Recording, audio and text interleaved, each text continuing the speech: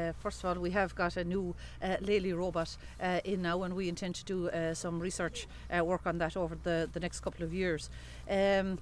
uh, one important point, I suppose, is that we are operating the system here as a spring calved grass based system, the same as the majority of conventional herds out there.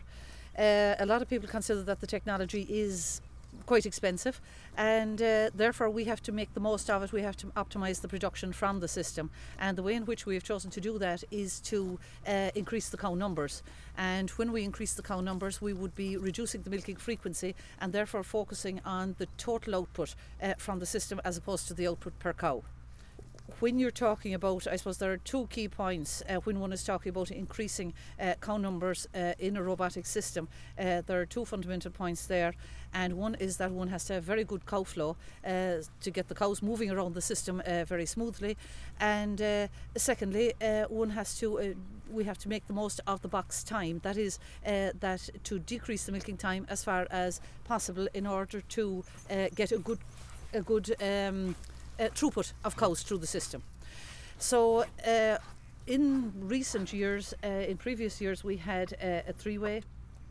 We had 80 cows on, on the robotic system here, and uh, we had a three-way system in ABC grazing system. Now that we're going to 90 cows, we're hoping to, to go to 90 cows this year and maybe higher, depending how the system goes, uh, maybe higher next year. But in that scenario, we're talking about going, and we are have gone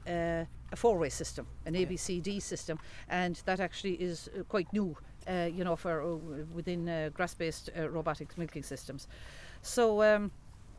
basically our research uh, for the uh, coming uh, for the coming uh, couple of years now will be focused mainly on uh, first of all the grass-based system and making sure that that four-way system uh, works properly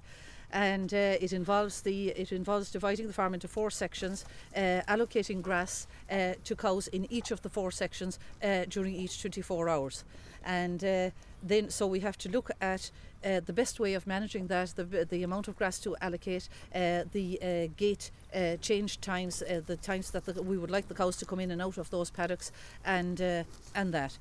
Uh, so the grassland management is going to be a key part of the, the programme now for the coming year. Uh, the second major thing that we'll have to be focusing on would be the milking frequency because again when you have more cows uh, in the system up to 90 cows uh, you do have to uh, reduce the milking frequency yeah. to some extent particularly at the peak uh, milk production time. Uh, there are six or eight weeks there where the system is going to be under pressure where all of the cows will be at peak milk production together and therefore we will have to building up to that we will be reducing the milking permission uh, slightly as we go along uh, in order to reduce the milking frequency to, to give all cows a chance of being milked uh,